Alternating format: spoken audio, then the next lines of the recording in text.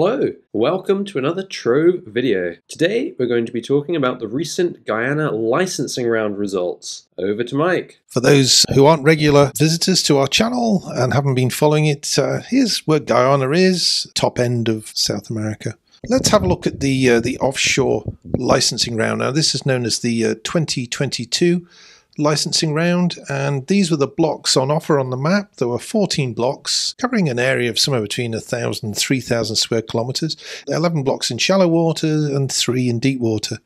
Now, it was originally uh, announced back in December 2022, closed April 23, extended, extended again, and eventually it was announced back in uh, October 2023. 44 days from the close of the round until the awards were announced. How does that compare to other countries? Well, I think you know where I'm going there. So here's the existing landscape, and you can see the blocks Stabroek, Kaieteur, Canje, uh, Kanuku, Orinduik, and uh, of course Corentyne, as well as the onshore Mahika. The currently licensed blocks are in yellow, and you can see there in orange there's the three deep water blocks in the northeast, and to the southwest you can see the 11 shallow water blocks. If we have a look at the awards, this is a busy slide, but if we start in the uh, the top left, you can see that Sispro, uh, they've been awarded the uh, S3 block. We've got a consortium there headed by um, TotalEnergies, with uh, Qatar uh, Energy and Petronas as partners. Uh, they've gone for the S4 block. Um, also, uh, the S8 block there has been uh, applied for by ExxonMobil. Hess and CNOOC. Now, I think our prediction, and I must uh, eat some humble pie here, I thought that the big boys were going to go for the offshore and the smaller players were going to go for the shallow water. Not quite what's happened. So if we uh, have a look at uh, the Deepwater Block D1, that's gone to Delcorp Incorporated with partners uh, Watad Energy and Communications and Arabian Drilling Company. Sispro have gone for the uh, D2 Deepwater Block, and uh, I think uh, there haven't been there weren't any applicants for the uh, the D3 block. Now, going back to the shallow water, uh, you can see that uh, the uh, International Group Investment went for S5, the S7 block went to Liberty with partners Cybele, and International Group also went for uh, S10 in the south there. Now, the uh, blocks highlighted in black didn't receive any bids and were not awarded. So, what do we know about Sispro? Well, I like this company. It's uh, 100% Guyanese, and it's these ladies here who've basically uh, committed to community development, social responsibility, and gender and social equity. Sispro have, uh, have gone for two blocks, uh, one in the shallow water, one in the deep water. Um, they are an indigenous energy company in Guyana, and if they want to get in touch, we'd love to feature some of the ideas and thoughts, uh, some of the technical information that they might want to share on the channel. The uh, Internet International Group Investment went for S5 and S10 in the south. There's the address. It's a highly diversified service company offering engineering training expertise covering the entire spectrum of oil and gas. Now, um, yeah, if uh, if you would uh, like to get in touch, we'd like to feature the opportunities available uh, to the industry that uh, you may have identified on your blocks. Look at uh, Liberty Petroleum and their partner Cybele. They went for uh, the S7 block in the shallow water area. Liberty, they're uh, an independent US company active in Australia. Their idea basically get the acreage award, work it up, uh, and then try and farm it out. Uh, pioneering uh, African oil and gas company Cybele Energy, well, they're from Ghana and started life as a service company, but they're diversifying into sort of ownership and uh, participating in, in joint ventures. In the past, they've kind of been uh, more focused on oil and gas marginal fields, but this is uh, out and out exploration that they're going for here. So we wish them well. If we look at the uh, the S4 block, uh, this is um, TotalEnergies with Qatar Energy and Petronas. Not same group as uh, Stabroek. Um, Hess, not part of this grouping. Petronas have uh, presumably stepped in to, to take their place, but uh, you know they are involved in uh, other areas. Petronas in Block 53, for example, over in Suriname.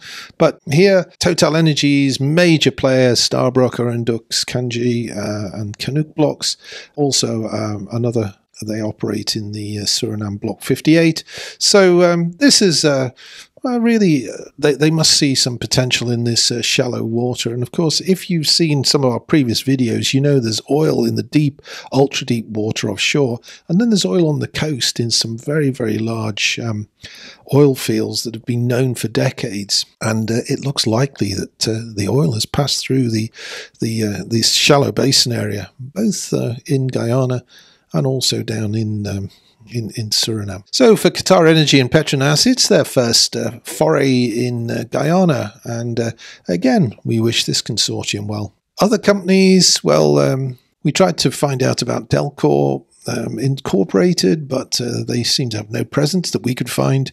Um, it, it, appears to be a Guyanese company, but if they want to get in touch and give us some information, certainly on the technical aspects, we'd be delighted to uh, to carry that in a future video. Watad Energy is uh, Saudi Arabia's leading IT and cybersecurity company. They're certainly looking in new waters so that's uh, the deep water block there, um, and along with Arabian Drilling Company, it's a it's an interesting consortium. Arabian Drilling is uh, is the leader in the drilling sector in Saudi Arabia. Now the uh, website shows the company's offshore rigs are all jackups. Um, they're not going to work out here because uh, jackups are only good to about 400 feet of uh, water depth. Uh, the, the water out here is thousands upon thousands of feet. In fact, probably in this region, it's ultra deep. So the next uh, consortium we want to look at is the uh, ExxonMobil, CNOOC, and Hess, which is uh, in the process of becoming part of Chevron. But of course, uh, we've already talked about the uh, the ongoing mega merger in, in, two videos, and well worth a watch if you're not up to date with that. The uh, consortium uh, of established majors. They hold the majority of discovered reserves offshore Guyana. That's in the Stabroek block, and of course the Liza Destiny is is up and running and producing, and, and we carry information and news on all of the uh, production opportunities in Guyana. So, in other news in Guyana, we have to return to the Stabroek block, and it's uh, the uh, the Lancetfish 2 appraisal well. Here's Lancetfish shown here. It's about six and a half kilometers from the Liza uh, production facility, which uh, is producing. It's a second well that's been successful on Lancetfish, and uh, it re- recorded some 125 foot of net oil pay um, in the um, reservoir target that they were appraising, but they also found, uh, as part of that, 65 foot of net oil pay in a new interval. Now uh, they're going to have to obviously appraise this uh, this new accumulation, but it's very very exciting.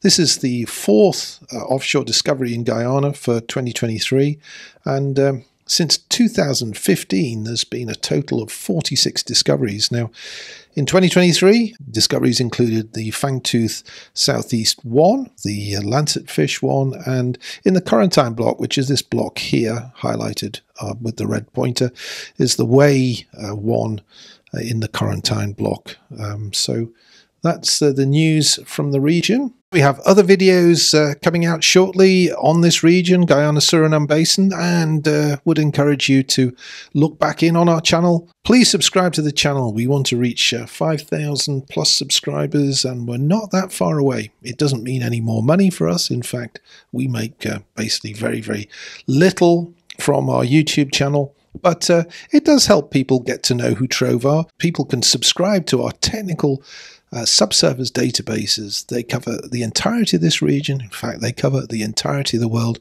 We hope to see you back on our channel before too long. Bye for now.